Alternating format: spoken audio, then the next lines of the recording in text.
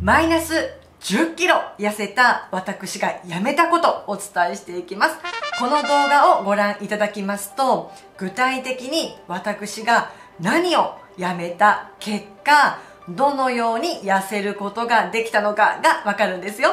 ぜひ最後までご覧くださいね。それでは早速本題に入ってまいりましょう。では、私がなぜマイナス10キロ痩せることができたのか、その痩せるポイントはこちらです。腸内環境を良くしたからなんですね。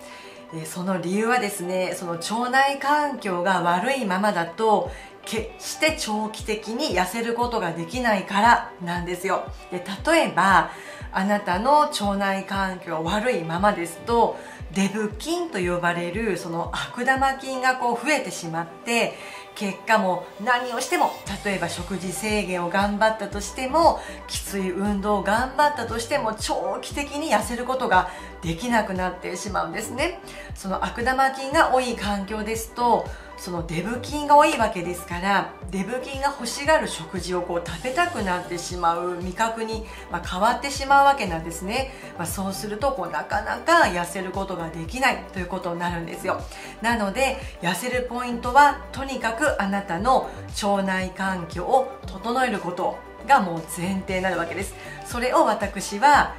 やったということになるんですよね。ではここから具体的に私がでは何をやめたのかということです。何をやめた結果その腸内環境が良くなって痩せることができたのかという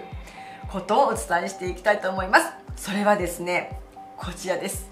化学調味料を取るのをやめたからなんですね。で化学調味料というのは1990年代以降こう別名でうまみ調味料とこう呼び替えられるようになってしまったんですね。そのためその化学調味料なんだということがこう分かりにくくなってしまったんです。で現在では加工食品の原材料名には化学調味料とは書かずに調味料かっこアミノ酸などと表記されているんですね。これが実は本当は化学調味料のことなんです。であの私のねサロンにいらしてる、まあ、クライアントの方もですね私のこのお話を聞いていただいた時にこのアミノ酸って書いてあるから先生あのてっきり体にいいものかと思ってましたっておっしゃるほどあの確かにもうおっしゃる通りなんですよね。アミノ酸なんて書いてあったらこうパッと見体にこう良さそうな響きがありますよね。ただしこれは違うんですよということなんです。でこの化学調味料というのは、まあ、調味料過去アミノ酸などと表記されてあるんですが正体はグルタミン酸ナトリウムです。あの化学品なんですよね。でこれを取り続けた結果例えばアルツハイマーであったりうつ病であったり睡眠障害であったり、まあ、こういった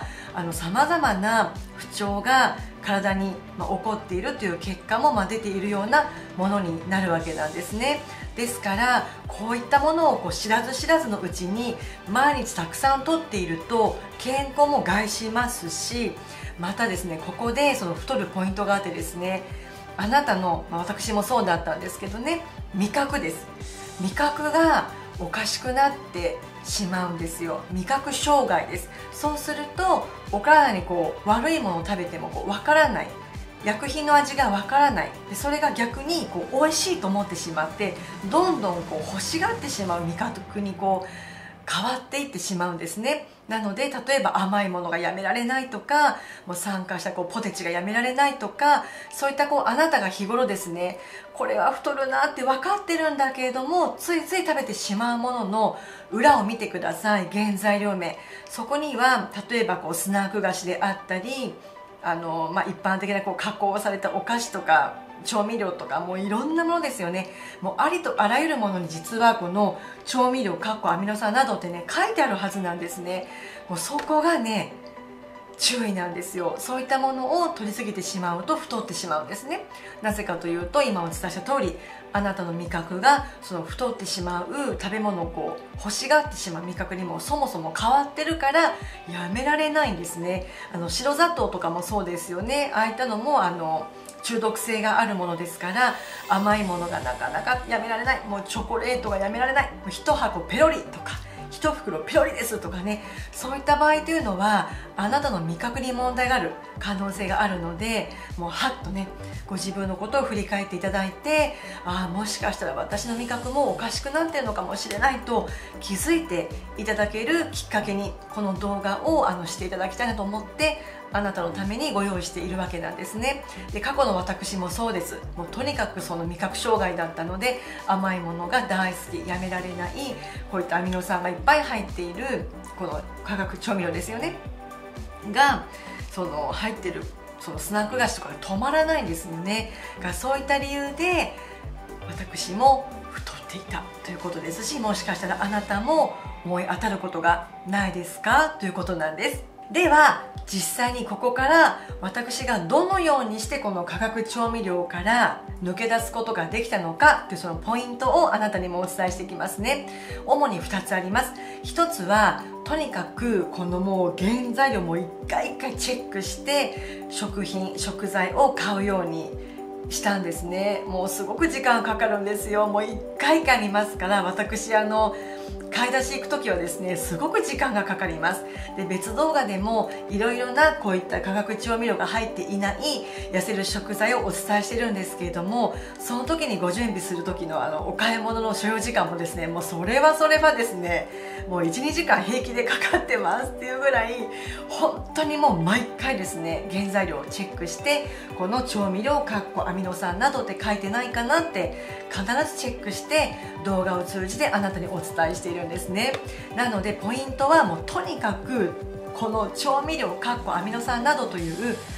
表記してあるこの化学調味料をいかに排除するかです。もうまずは入れないこと。お掃除しないといけませんね。今まで溜め込んできたそういったものをもう取らない。一旦大掃除してあげることが大事。そしてきれいになった腸内をさらに痩せ菌と呼ばれるその善玉菌を増やしてあげるために必要な食事を取るということがポイントの2つ目ですね。そうすることで痩せ菌と呼ばれるその善玉菌がどんどん増えてくれて結果あなたは自然と痩せ体質になることができるからなんです。ですからまとめますととにかくデブ菌が喜ぶような太る食材こういった化学調味料が入っているものをまずは取らないこと。取らなくなった後は逆にその善玉菌が喜ぶ野生菌が喜ぶ腸内環境を整える食べ物を食べることということなんですね。でこの腸内環境が喜ぶ食材というのは私も別動画でもとってもたくさんの数上げておりますからもう全部チェックしてみてください。どんな食材が腸内環境が整って結果あなたが痩せることができるのかという食材選びの動画をどんどんご紹介しております。でまた逆にこういったものは取ってはいけませんよという動画も配信しておりますので私がアップしております。YouTube 動画はチェックされてみてくださいね。でまた今後もどのような食材を取れば痩せるのか逆に取らないと痩せるのかということをもうずっと今後もあなたのためにアップし続けてまいりますので遠慮なく、え、コメント欄にですね先生この食べ物はどうですか？これは取っていいんですか？っていうあのご質問もいただいてあのいるんですよね。その時はこちら詳細欄に LINE のリンクを貼っておりますので皆様ご登録後直接私にあのご質問されていらっしゃいますのであなたもご必要であれば遠慮なくおっしゃってください。でまたこのチャンネルではこのようなさまざまな健康法ダイエット法腸活法をお伝えしているんですね。そのことであなたが長期的にリバウンドせずに健康的で綺麗に痩せるを応援しております。ぜひ高評価ボタンやチャンネル登録していただきましてもうどんどんご参加ください。それでは最後までご視聴していただきましてありがとうございました。